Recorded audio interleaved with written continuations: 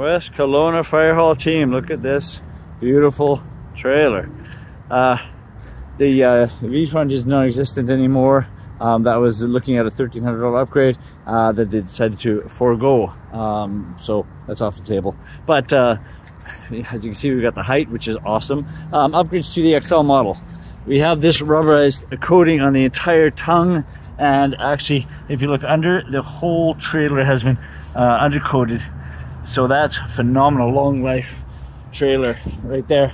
Uh, the bonded skins that we wanted uh, you could add your logo on there, no problem, no issues. You've got flow-through vents that we wanted, storing um, gasoline, fuel, or generator, anything like that inside, not an issue. We've got uh, checker plate uh, chrome fenders. You've got 3,500 pound Dexter bulletproof US made axles times two easy lube hubs. They're rated at 10,000 miles between greasing, so full on commercial grade axles. Um, that rubberized uh, coating is all over the upright. Uh, so I love this. Even the hinges are covered with it. The greasable mechanism, greasable hinges on there. Um, this is awesome. Have a look at this door coming down.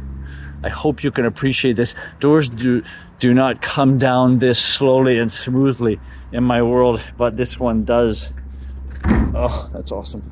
Uh, we got the um, extension that we wanted with the piano hinge so that when you're uh, taking the, the dollies up or the uh, small carts at your events, it's not an issue there. Come on inside. Just gonna get my measuring tape out. Okay, here's what I really wanted to show off is this awesome 90 inch interior height.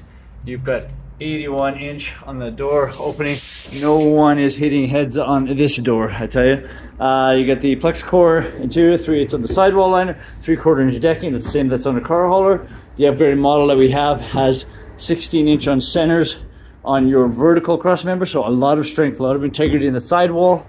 Uh, you've got a uh, deadbolt lockable RV style door here. Let's just go out. We've also added on the cam bar lock for additional security. So we're gonna keep your new baby safe. This is how you it's an upgraded model. They don't do a flimsy uh, plastic holdback, they do an aluminum holdback. Uh, yeah, the trailer came out very well.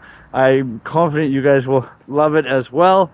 Uh, we got uh, a good price on this much trailer as well. It's a 12.7, I believe it was. Uh, so anyway, uh, I'm gonna send this off to you and uh, give me some feedback, let me know your thoughts, and let's get into your possession. Thanks, guys.